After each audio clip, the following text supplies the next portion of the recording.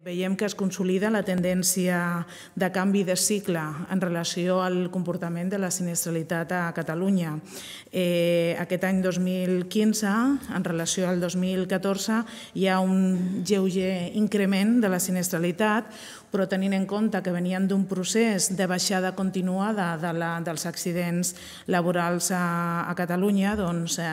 eh, es consolida allò que l'any passat anunciaven com a canvi de cicle. No? És a dir, que eh, s'ha relaxat l'activitat la, preventiva i que s'estan generant llocs de treball que generen més riscos per la població treballadora. A partir de les dades podem concloure que el 2015 ha augmentat en 70 persones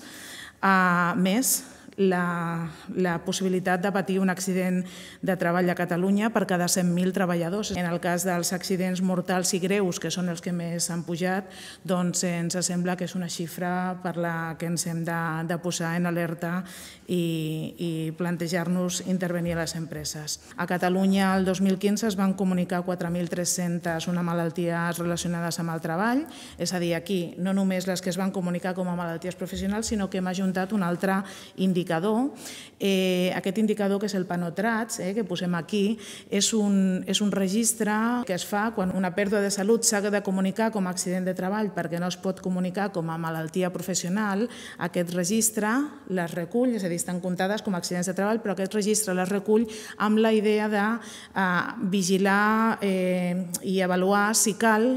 millorar o ampliar el nostre sistema de la nostra llista de malalties professionals. La duració de mitjana d'aquestes baixes per malalties professionals, tant en homes com en dones, està al voltant dels 65,40 eh, dies i eh,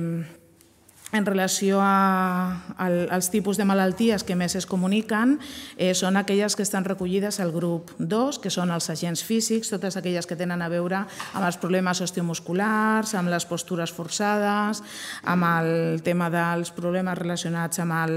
amb el soroll, amb el centre de treball, els esforços sostinguts de la veu, radiacions ionitzants, el comportament de la comunicació de les malalties professionals en funció del gènere ens explica aquesta,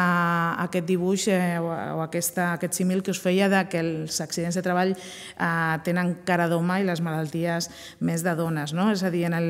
les malalties en relació a les dones que més es comuniquen tenen a veure amb aquelles activitats que es fan a l'entorn sanitari, comerç al detall, als serveis dels, i edificis i activitats de jardineria i a la indústria de l'alimentació. Doncs amb aquesta enquesta es va poder recollir que eh, eh,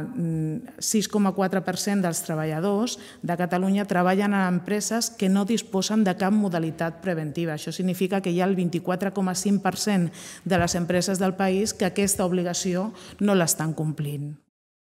Poniendo en marcha todos los mecanismos que tiene la Administración, que tiene el Gobierno, para, para paliar esta situación, y que es una obligación legal, y que son la inspección de trabajo, la inspección de trabajo ante esta situación ya hace un año que tenía que estar pateándose las empresas y levantando actos de infracción,